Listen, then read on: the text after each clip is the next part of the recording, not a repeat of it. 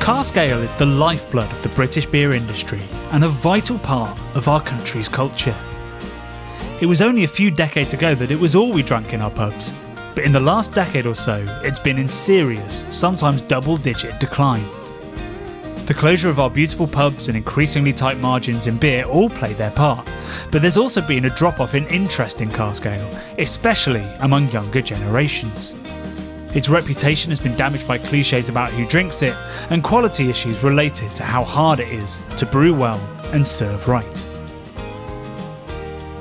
But after eight years of exploring the brewing world, we've come to believe that cask ale at its best is the ultimate way to enjoy beer. We've fallen in love with our traditional pubs, styles, breweries, and culture, and hate to see it slowly falling apart. So we've decided to do something about it. In a bid to ensure its survival, we've teamed up with Fuller's Brewery and spent the last six months filming stories that we hope will inspire people to get out there and drink cask ale more often. In episode 5, we visit the hallowed halls of Fuller's Griffin Brewery to get the story behind one of the UK's most celebrated beers, Vintage Ale. First brewed back in 1997, it predates both craft's rise and cask's decline, and has endured as a symbol of both historic and modern brewing. What we learn inspires us to start on an entirely new journey. Hello and welcome to the finale of our adventure into cask ale. We've had an incredible journey talking about the heritage, talking about the future, talking about the beautiful pubs that make this scene so special. And this week we are finally joining the people who have made this all possible, Fuller's, by talking about vintage ale. Why are we going to talk about vintage ale? Well, that's because we think that of all the beers in this country that could tie it all together and explain what's so great about cask ale, what's so great about the scene that's built up around it, and why it's so important to save it, then it's vintage ale. And we're going to be explaining that right now.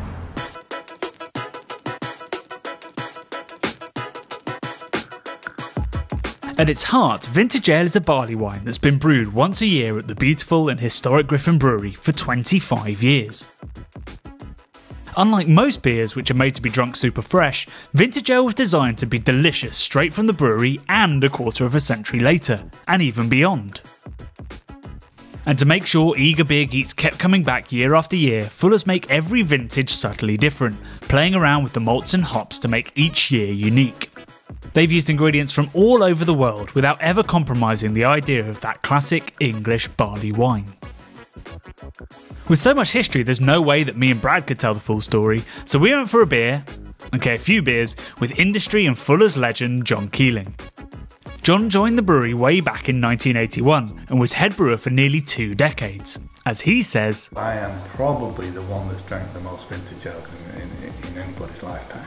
So, who better to speak about vintage ale and indeed the fortunes of cask than him? It's a complicated thing, vintage ale. Uh, in uh, the first two, the 97 and the 98, were brewed under the previous head brewer, which was Reg Drury. But I was the brewer in charge of the brew house, so I actually brewed it.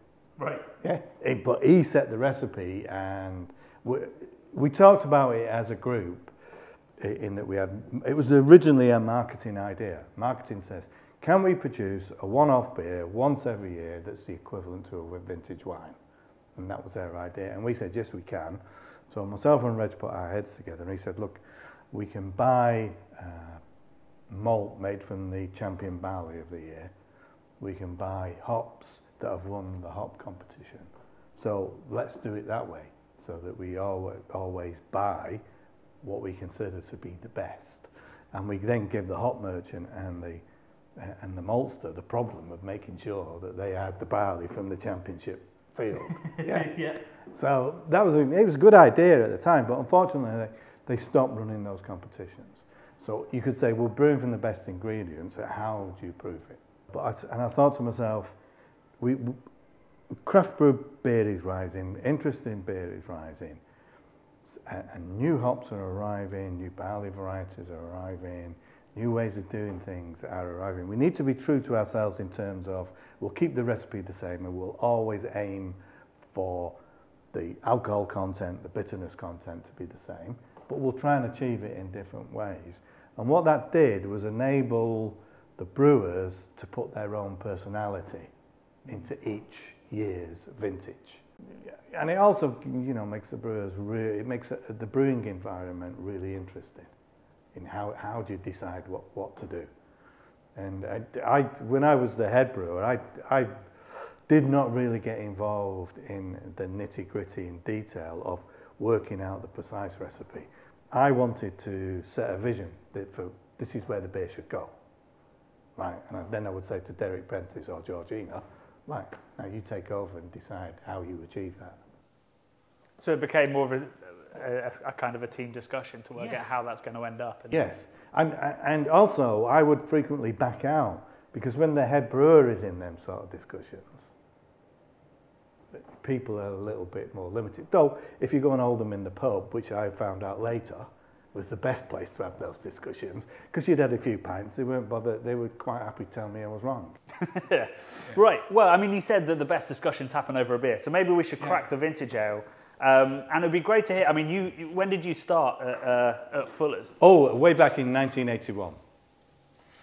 And that was just as a like a, an apprentice brewer. Yeah. That's a year before I was born. right. There you go. You see that. I joined them when I was 10.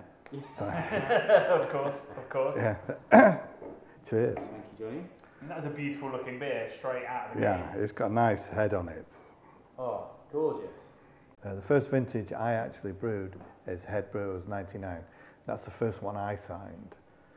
You, still continuing the theme of um, getting the best ingredients. At that point, we was able to do to do that, but it was it was becoming increasingly difficult for the hop merchant and and the um, the barley guys to actually come up with that because competitions were declining. I remember going to the hop competition; it was presented in the um, in the Houses of Parliament, and uh, it was real fun. But I, at that point, I was about 46, 47, and I looked around, and I was the youngest in there by about 20 mm-hmm. years.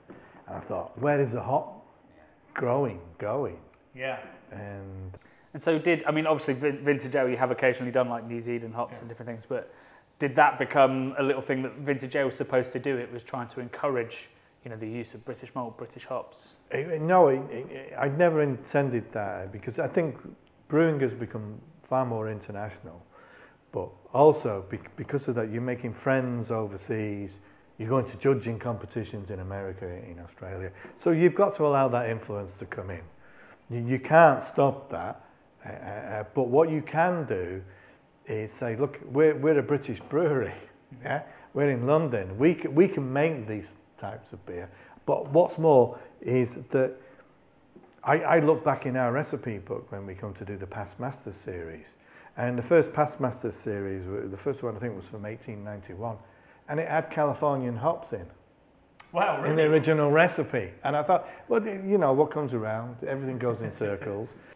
And because it's, it's now iconic, and because it, it says something not just about Fuller's, but about the brewing industry. It says, yes, a, a traditional company that's been around since 1845 can produce a traditional beer, beer, but it can react to new things, to what's happening in the world, which surely is to traditional of what brewers have always done. We couldn't put it better ourselves. It may be a barley wine, a style based on the strong, well aged ales of the 19th century. It may only be on cask or bottle conditioned. It may be malt led and have more in common with a best bitter than a New England IPA. But this, to us, is craft beer. Considered, experimental, flavour forward, and using cutting edge ingredients and processes. So, what does Fuller's Vintage Ale 2021 have in store for us? To find out, we headed to Fuller's in Chiswick way back on a crisp, cold March day. Happily, the exact day they were brewing it.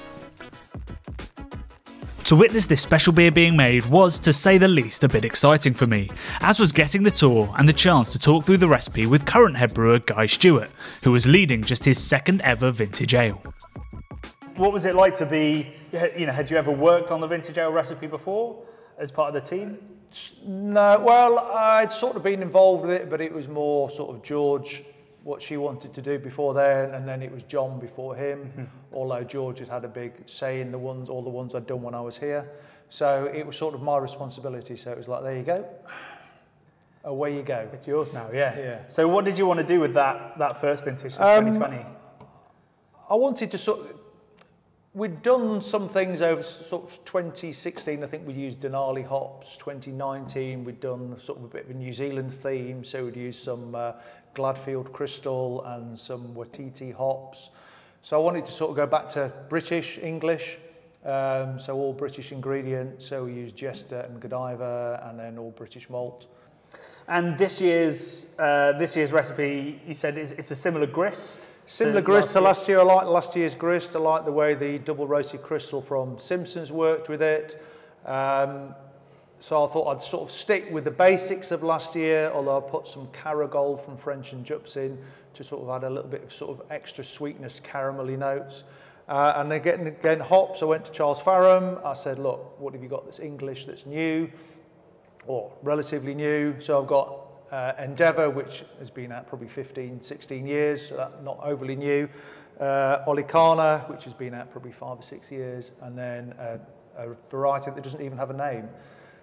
But it's got Lovingly a- called CF182, Just want to drink that. yeah, which is from the Charles Faram breeding program. So so what are we expecting? So Olicana seems like it's to use modern parlance. It might be a little bit juicy. It's got Yeah, those so we- we're sticking that in fresher fruits. fermenter to sort of try and get up the fruit levels a bit. Uh, the Endeavour, hopefully a bit of sort of um, plummy, black curranty notes, and the 182 is a bit orangey spicy. So that should work with the Fuller's yeast quite well because that gives you fruit cakey, orangey sort of notes, and then just a little bit of fruit to lift it up.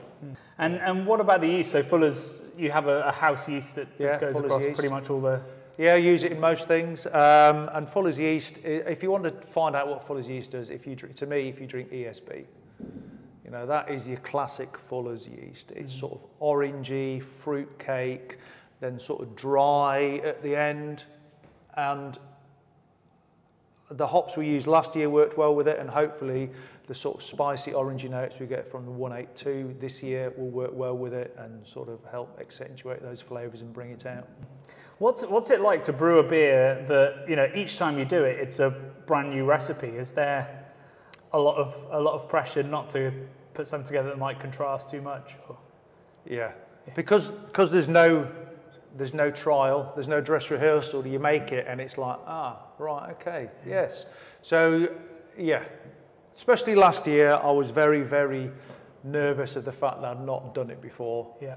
And I spent a lot of time writing and calculating and then redoing it again and then going over it again and again and again. And because I, I was working from home at the time, yeah, I'll probably drive my family mad.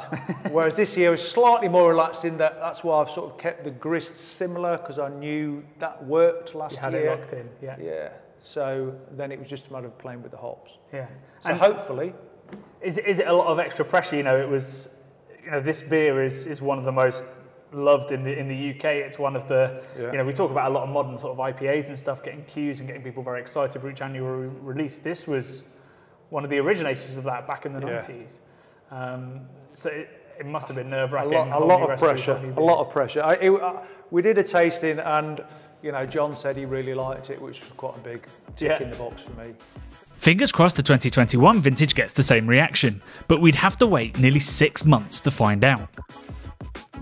This was the first thing we shot for our Keep Cask Alive series, so while we spent the spring and summer travelling the UK to tell all the other stories, the vintage ale was busy fermenting, then maturing, then conditioning in cask until mid September, when we were invited back for a special vertical tasting of several vintage ales from the past, including the very first one ever made from 1997. You just drank about 15 quid's worth of beer there, Brad. Oh. Don't I know it? But really, we were there to try the 2021 version on cask, which we got to do with Guy in a pub down the road just after. There, he told us what had happened to the beer since March before we got to be one of the first people to taste it.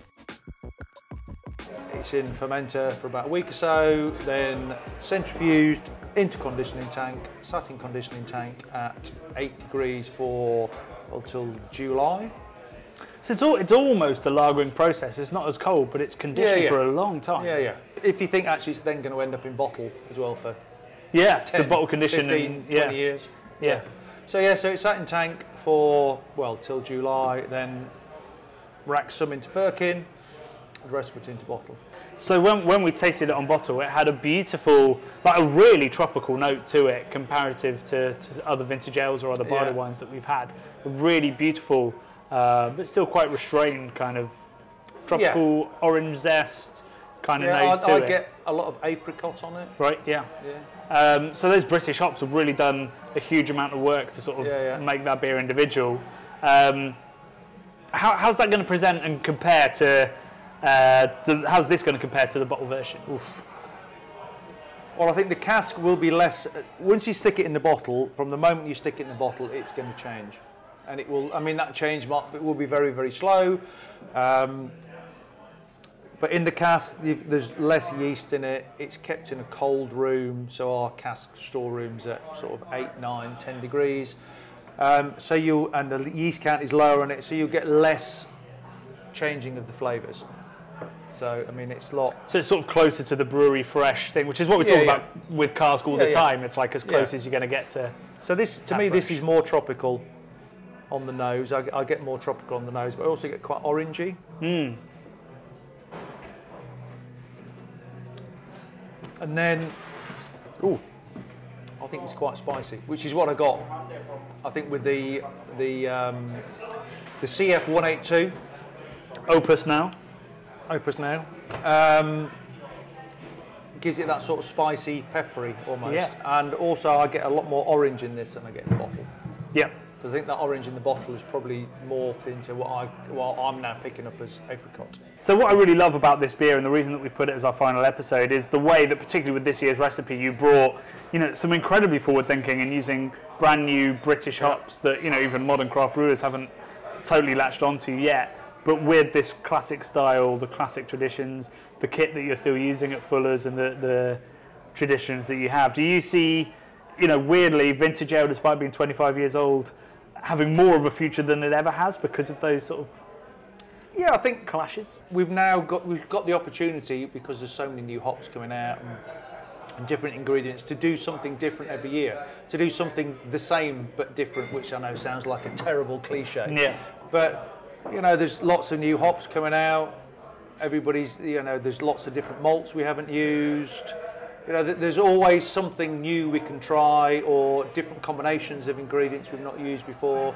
So I think you've got, you know, we know where the basis is. You've got a nice steady base, and then it's just, you know, it's almost like a fancy cake, and you can put different icing on the top each time. yeah, yeah, absolutely, and that that's a you know a benefit of cask ale because every time you do it, it's going to be incredibly fresh, incredibly vibrant, and you're going to know exactly what it is that you did yeah, because it's straight out of the brewery. It's it's as fresh as it's as it's going to be. yeah. Yeah. Well, thank you so much for, for talking all us through this entire process. It's been an absolute honour to see vintage ale made and then to taste it in just like this. I'm glad you And, like it. I mean, it's absolutely delicious. So there it is, a beer based on a centuries old style, brewed to a decades old recipe, but using brand new British hops. To us, Vintage Ale does a great job of showing everything we've talked about in this series. It shows what's possible with cask, and that is absolutely anything. The only limit is the talent of the brewers, the care of the publicans, and the demands of the drinker. All three of those things are at risk though if pubs are forced to focus on more profitable things and drinkers lose touch with this glorious way of serving beer. After everything we've learned, Brad and I are more determined than ever to do our bit, so we grabbed a point back at the Southampton Arms and started to put a plan together. So we're back at the Southampton Arms where this all started. Six months we've been filming this series of documentaries, and I, you know, everything has changed for me. That my perspective on cask ale, my perspective on pubs, the breweries that I look out for when I go to pubs, and my understanding of what a perfectly kept cask ale is. I'm not sure I really understood it until until this year. No, I don't think I'd be remiss in saying that this has been a life altering and habit changing experience for the both of us. Yeah. Yeah, absolutely. It's kind of broadened my horizons. When when I used to go into a craft beer bar or you know a cask ale focused one, I'd be looking for particular breweries. And from what I've learned from visiting Hook Norton, Abbeydale, Darkstar, Fuller's, all of these amazing brewers that I wouldn't necessarily look for on the bar uh, a year ago. Yeah. I'm now, you know, if I see old hooky on, I'm like just as excited as I was when I saw you know the modern stuff that we've always covered on the channel more. Um, and I, I think that's going to continue for a long time because of the stories that we've seen. You know, we know what these cask ales have gone through to be brewed, the incredible history of it, and then what it's taken to care for it. We started this this journey together, Johnny, knowing that cask ale was in trouble. But I think what we've realised is that there's so much hope, there's so much light at the end of the tunnel. At this point, I think there's two things that we can do at the Craft Beer Channel. The first one of them we want your help with, and that's evangelising about how great cask beer is. Um, drink it, rate it, tell everyone you know how amazing it is. Whenever you have a great pint, celebrate it. Absolutely. And the other thing that we need to do is take this out of the beer bubble and get help in protecting not, not just its future, but also its past. Yes. And I think that the best way that we can do that is to take a leaf out of the Belgians' books, and we need to go to UNESCO.